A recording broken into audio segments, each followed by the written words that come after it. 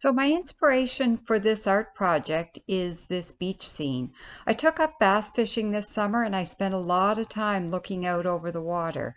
So today I'm going to do a paint pour and I'm going to attempt to capture some of those deep blue colors that I saw in the water and in the sky.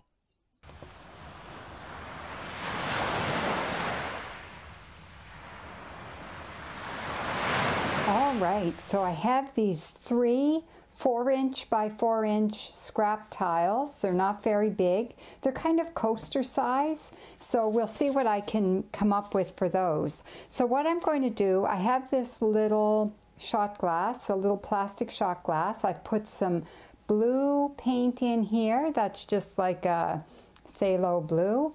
And I'm going to add some other paint to this tiny little cup. So I'm going to add, there's some, like the dark blue, phthalo blue. I'm adding some cerulean blue, a tiny bit of aqua green, just pouring it in on top there. This is a flip cup technique that I'm going to try on these little tiles. I'm thinking this is going to be a good amount of paint for a tile this size. Tiny bit of turquoise tiny bit of phthalo green. So not very much of any one color. And I'm going to add a little bit of gold and I will top it up with some white. Now I've added, this is a metallic white. It's got, it's just like a plain white with some glitter in it, which I quite like.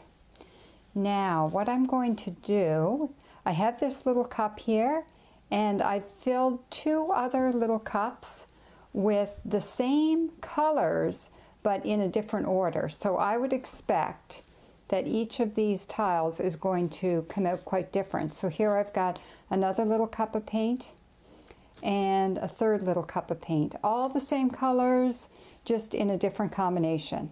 And then I'm going to take the tile, put it, try to center it on top, and then flip it over. Just let that sit there. I have it propped up on other little cups just so that it will give it some chance to drip over the sides.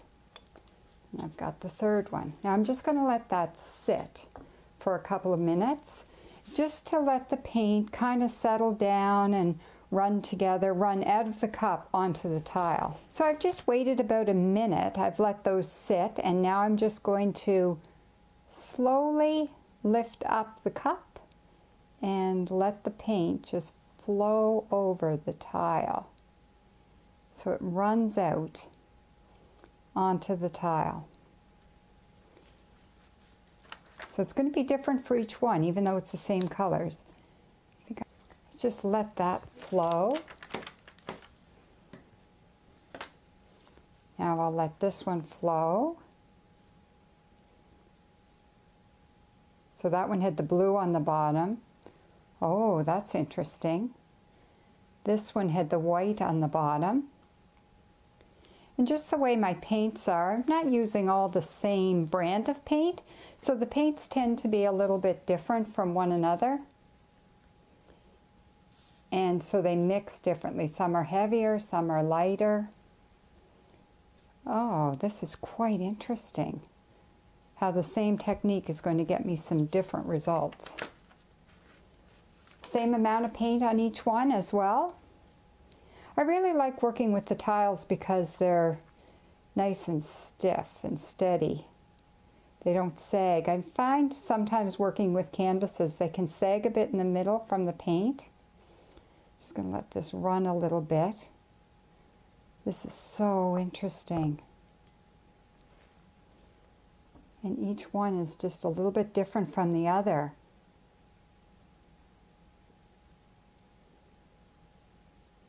Try to stretch it to the corners.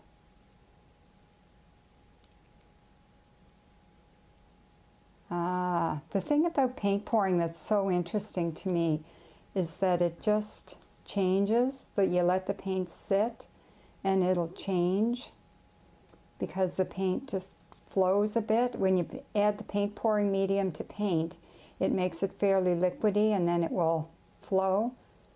At that, I'm dripping paint from one of them to the other.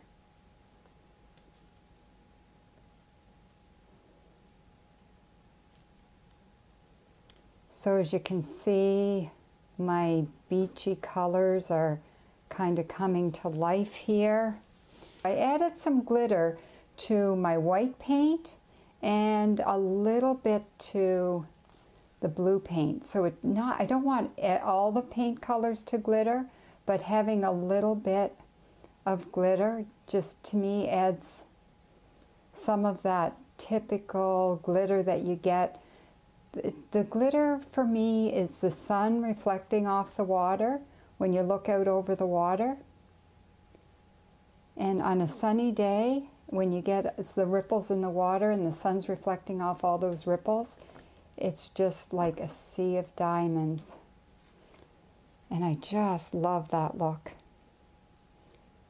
So these are quite interesting. And they're so small, but they're just sweet.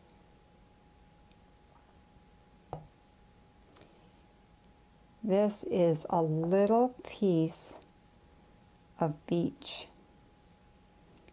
because of the really cool beachy colors. So I have three very different looking little squares here because I put the colors in a different order. Same amount of paint, same size tile, same color paints.